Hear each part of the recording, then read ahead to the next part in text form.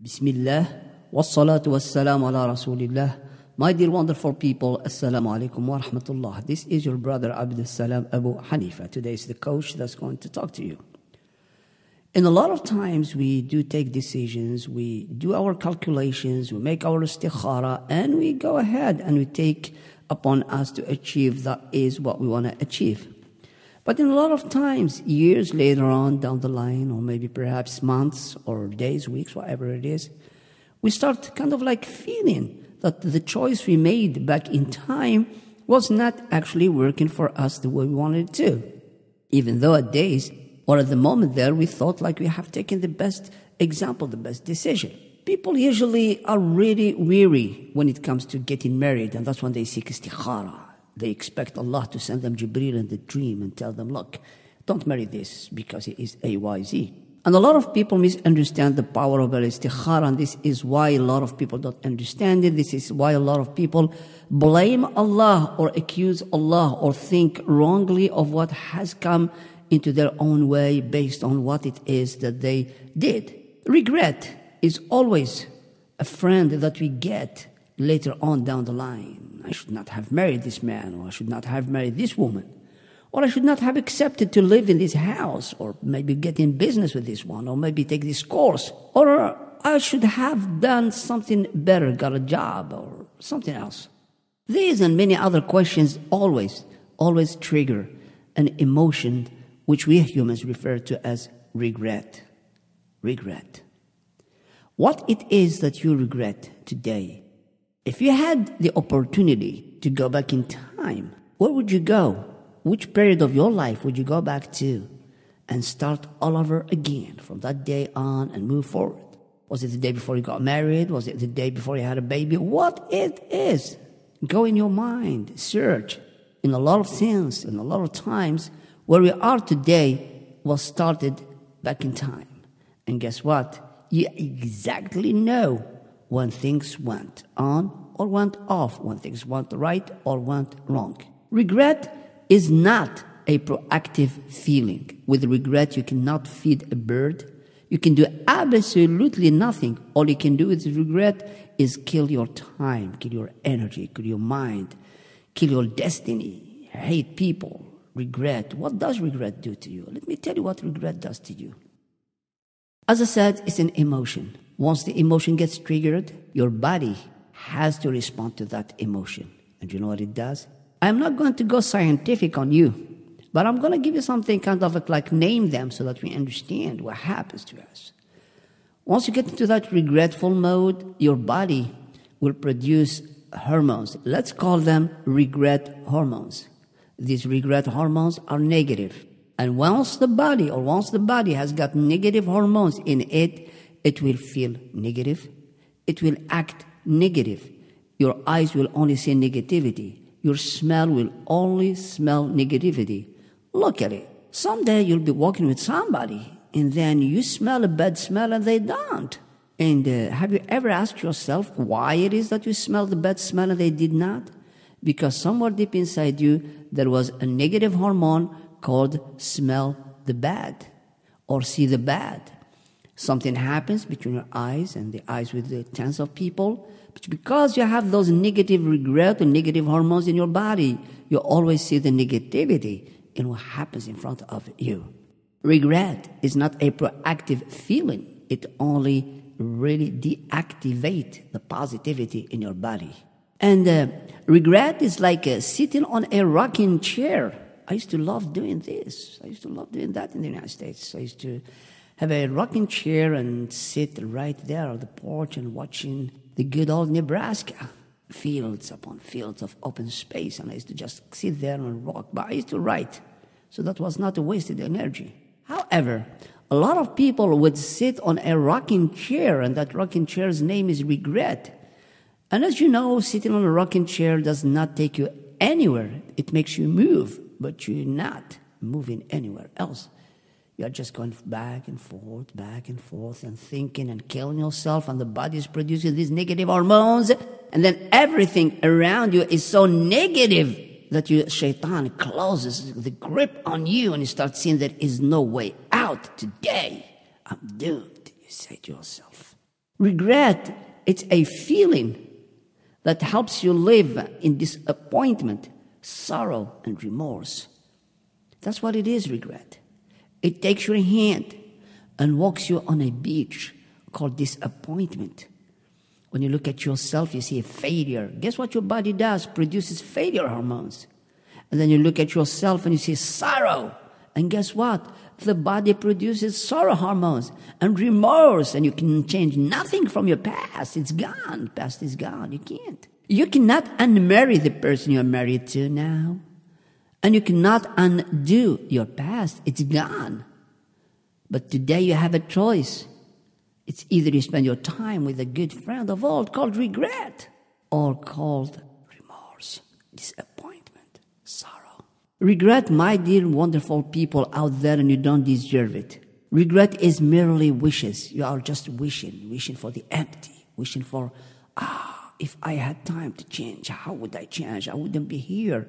Guess what? You are here. Deal with it. Regret, it's that feeling where you feel things could have been different but you are doing nothing to change the past, and the past you cannot change it. Regret is doing things in your mind differently, running them differently, and reality is speaking different to you. This is why you are in a state of confusion. This is why you don't know where your head is, and this is why you don't know where your tail is. Regret, my dear wonderful people, is those things, and you wish for those things that would have been different without an act to cause a difference, that is like wishing you've eaten yesterday's dinner and now you wish you didn't eat it. How much can you undo of last night dinners? And this is just last night. Let me take an example. Let me take you on an example of this one here. I discovered this at a very young age. And then throughout time, I came to see that Islam this beautiful, beautiful religion has actually given the solution. The miserable Muslims of today, the miserable Arabs that don't know their religion, are causing a great deal of sorrow, disappointment to the world. If only we understood Islam as Allah wants us to do that, oh, ain't no telling what we Muslims would do today. Just like our predecessors they left their marks and their legacy on every field of science that the West still thrives on today. Yet we have the same religion, yet you have the same pointers, but we're not acting. But let me share with you tonight something that has helped me work with my life. Those who know me, they know that I don't have much sorrow, I don't have much disappointment in my life. And I will share with you tonight this and I pray to Allah subhanahu wa ta'ala that it finds a way in your heart, in your actions. If you don't know how to do it, call me, ask me, I'll help you. But you know what? Through all my these pep talks, I realized that Muslims don't want to change. Subhanallah. I used to do the same thing with non Muslims, and every topic that I posted, there used to be a great discussion of points, and I liked that, and I didn't like, and this reminds me of that, and this reminds me of that philosopher who said this. It was always a good discussion, and I learned more than I, did, I delivered them. It was a good experience. With Muslims today, nothing, it's dead desert. It's a dead Sahara out there. I don't even know if you listen to my pep talks or not you know what? My life goes on, and Alhamdulillah, I'm getting better every single day. And if you don't listen and you don't act, on the day of Al Qiyamah, just watch what you're going to say to Allah subhanahu wa ta'ala. Let's take an example. Let's say, Alhamdulillah, if somebody has diabetes, and the very first thing they tell to people that I have diabetes, the typical response from people when they hear that someone has got diabetes or is diabetic, what they say, Oh, I'm sorry to hear that. That's negativity speaking. However, you can turn this reality of you having diabetes or high blood pressure or tension, whatever it is that you got, into something that works for you. How about if you answered like this? Someone says, Oh, I'm sorry that you got diabetes. And you go, You know what? I'm not sorry for having that. I am a better athlete now because of the diabetes rather than despite it. Allahu Akbar. So diabetes was the wake up call. You need to do something about your physique, be healthy. And then you hit the ground running and going to the gym and working out on your eating habits. Not become a couch potato when you're giving, just like I see Muslims, subhanAllah, younger than me, suffering from diabetes and take this, and it affects their lives from every angle. Their sexual appetite decreases or dies, and their love of life, and they become just slaves to medication. Why? They have diabetes. Subhanallah. And this is what most of time is because we have treated our body, no energy, no working out, nothing. The body is easily attackable. The moment you hit the ground and you start working out and working out, and guess what? And positivity uh, the emotions, that's it. The body starts producing positive. I'm diabetes, great. This is my opportunity, man. This is my opportunity, my sister. Look at your lifestyle. Do you guys actually, let's say between a husband and a wife, why don't you study fitness? Why don't you become fitness and spotters for each other? Instead of letting your wife go fat and unhealthy, and instead of you building that gut, dude, get on the treadmill, work with your wife. What is the danger in that? But Muslims are today, subhanAllah, into thinking negative. And this is very, very sad. Take whatever calamity, don't regret it. As I said, regret is not a proactive feeling. It's a feeling, just like you live in London, just like you live in a borough, let's say in Acton Town, Let's say you live in this street here. Well, your regret lives in a country called disappointment, in a city called sorrow, and in a, in a county or street or whatever called remorse. Get out of the town. It ain't no place for you. Go somewhere else. Go to something where, well, this is what has happened. I'm going to learn from it and guess I'm going to become the best of it.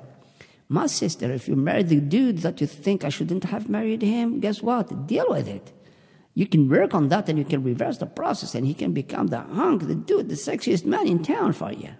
And you, my brother, instead of looking at your wife growing sideways, becoming fat and hard to move, why don't you introduce fitness and start with her slowly? I'll help you develop a plan. Subhanallah. Let me tell you guys, in the competition and people that came to my house, they saw the trophy. In a United States competition in fitness, I ranked third in California and 10th in the United States. Yes. Subhanallah. Allah, you Muslims, I don't know why. If I told this to the non Muslims, I've already made few seminars in health and nutrition. But you Muslims, I don't know. Why are we like this? A question. Why are we like this? I leave to you to answer. Here is a hadith of Rasulullah because you must bless this saying with a hadith of Rasulullah and also an ayah. In Surah Ibrahim alayhi salam, Allah subhanahu wa ta'ala says, أعوذ بالله من الشيطان الرجيم إن الله لا يغير ما بقوم حتى يغيروا ما بأنفسهم in the nearest translation to the meaning is that Allah will not change the status of a people or a person until they change themselves which we teach non Muslims today as for things to change, you've got to change. The definition of madness in the Chinese dictionary is doing always the same thing and expecting different results. Look at yourself. You always lead the same lifestyle. You always pray the same way. You always read the Quran the same way. You always eat the same way. You always drink the same way. You always dress the same way and you expect different results. Hello? Time to wake up. And in the hadith again, reported by Sahih Muslim, Rasulullah gives us, Wallahi al-Azim, I can hold a whole seminar about these things, but I'll share with you in these few words. المؤمن القوي خير وأحب إلى الله من المؤمن الضعيف وفي كل خير. The strong believer is in the sight of Allah subhanahu wa ta'ala better than the weak believer. And in both, there is goodness. And obviously, my dear brothers and my sisters, the goodness in the strong outweighs that in the weak by lots, which means Allah loves the strong believer. Strong believer in every context of the strong physically strong, emotionally strong, planning your life strong, acting Islam strong, being to mankind strong. Every single thing that you do has to have something is time strong. I eat time strong, healthy. I sleep time strong, beautiful sleep. I help people, time strong. I do that, and, and you get the idea. And then Rasulullah said a couple of beautiful things. He goes, أحرص على ما ينفعك واستعن بالله ولا تعجز. Look at the Arabic, subhanallah. أحرص. When I looked at the English translation, they say uh, cherish, and they give all nonsense words because they do not give the real meaning of ahris. In the Arabic or in the Quran, al-hirs is being greedy. So what Rasulullah is telling us is this. Get very greedy in searching what benefits you. Allahu Akbar. If health is going to benefit me, I get very greedy. I don't have time to waste in anything else. I'll get healthy. When I do my salat, I become very greedy. You know, when you are greedy, you want to eat yourself, use your money by yourself, everything's by yourself. It's me, me, me, me, me, me. Well, do it. Be very greedy in Islam first and in life. And being greedy in Islam means you share with other people. But I'm talking here about what serves your cause of being on earth very well. And then the Rasulullah says, وَاسْتَعِنْ billah and ask Allah to help you. Don't sit on your butt with crossed arms and crossed legs and expect Allah to do the job for you. Allah has rebuked this of the children of Israel when they said to Musa, اذهب أنت وربك فقاتلا إنا هنا قاعدون. The children of Israel got to Jerusalem and they were just there looking at it. The command was just stand up and walk into the city and you will conquer the city. The children of Israel turned to Moses and said, Moses, Musa, go you and your Rabb and your God, fight for us we are here waiting. When you win the battle, we'll come in. Allah cursed them and sent them to the desert for 40 years. My sister, if your marriage sucks, big deal. My brother, if the sexiness of your wife is gone, and if your marriage sucks, big deal.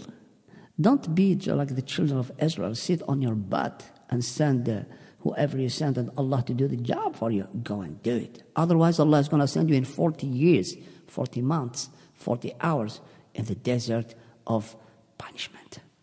And then, وَلَا تَعْجِزْ Al-ajiz comes from al-ajuz, is someone who is old and can't do what they want. There is, here is a great message from Allah. Don't be a loser. Since you don't know that you are going to fail or not, since you have started to win, go ahead and go for it. Don't let inshallah knock you down. A lot of people are criminals. Muslims I'm talking about. They are criminals when it comes to inshallah. I will buy a car inshallah. I.e., I intend to buy the car, but in my heart, Allah doesn't want it to happen. But should He let it happen, I will do it. This is absolutely criminal to think like that. Absolutely criminal. I am going to take a course and succeed, inshallah, i.e., I'm doomed to failure. But should Allah will something different, I will pass. You are a murderer. You are a criminal thinking like that. Inshallah, as I said before, is the Bismillah, is being polite by Allah, and that's the first step in an action. It's when you intend to do something, you go inshallah and you go, hit it right where it hurts, 100%, give you 100%, and Allah will give you the result.